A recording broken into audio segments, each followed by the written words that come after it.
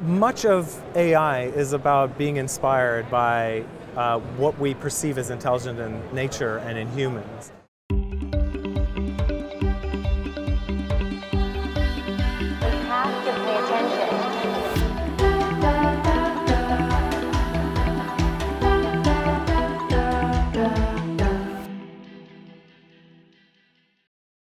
So I'm pleased to welcome Babak Hodjat. You're the CEO and founder of Sentient. Um, thank you for joining us in our AI interview series here at the AI Summit in San Francisco. Pleasure. You've come up with this, uh, and, and looking you up, I found you know evolutionary intelligence. Um, tell the layman, right? What is evolutionary intelligence? Because it sounds really awesome.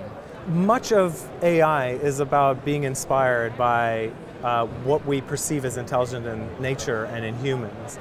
And when you look at evolutionary intelligence, that's it's all about trying out a variety of different solutions to a problem and uh, keeping the ones that work better and mixing them into creating new uh, uh, candidate solutions.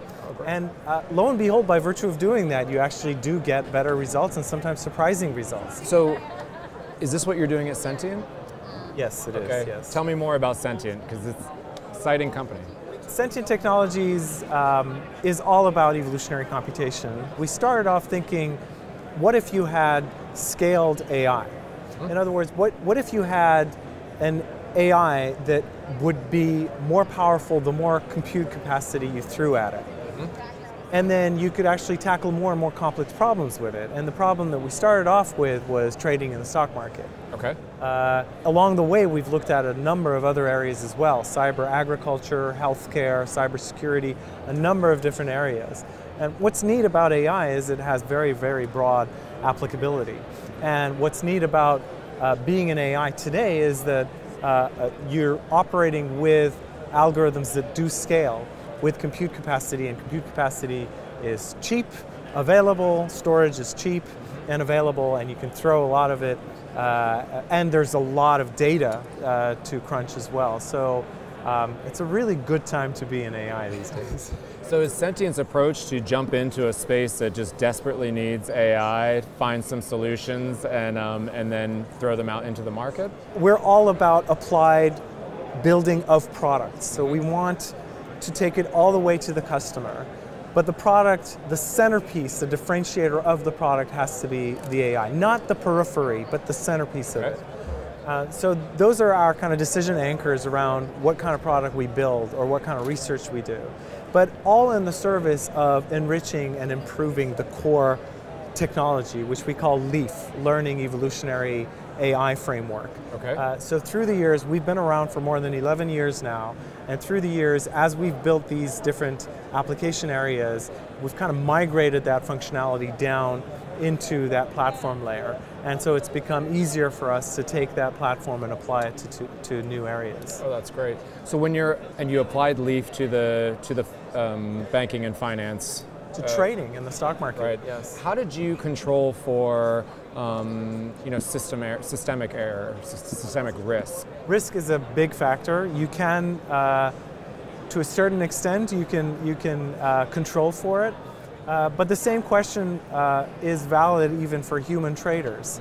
Uh, and the difference, though, is that with a robotic trader, for, with an AI-based trader, you have the luxury of being able to put it through the wringer on Right. historical data, Right. on fake data that it's never seen, and try it out and test it, and then you know uh, sort of interrogate it to, to find out how well it does at frequencies that are unfathomable for humans. So the number of decisions you actually put the AI through is many, many, many orders of magnitude more than, for example, a human trader. So if you're thinking forward uh, three years or five years, pick your pick your um, time timeline. Um, what most excites you in that forward-thinking space about AI? I think it's very analogous to uh, the dawn of cheap personal computing and um, how it uh, spread like wildfire.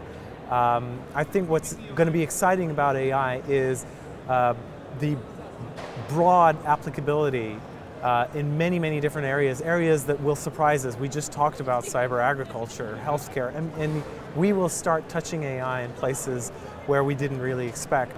So after this after this um, interview, I feel like you might have a magic wand, but I'm going to ask this anyway. if you had a magic wand, um, what perception within the public of AI would you choose to change? As AI scientists and practitioners, we're working on one thing, and we keep improving it. And the ultimate of that is this super intelligence that is going to take over. That is just wrong. It is just wrong. We've been inspired by what we see in nature, and we've built a tool chest of different algorithms. The algorithm that was used to play chess was not improved to then play Go. It's a completely different algorithm. Uh, and uh, uh, the same uh, has been going on and on and on. It's more analogous to alchemy, uh, where we've the offshoot of actually searching for, you know, uh, manufacturing gold has been, you know, a whole bunch of different techniques that's been useful. Uh, I, do not fear AI more than technology, and do not fear it less either. I think we're going to end with that.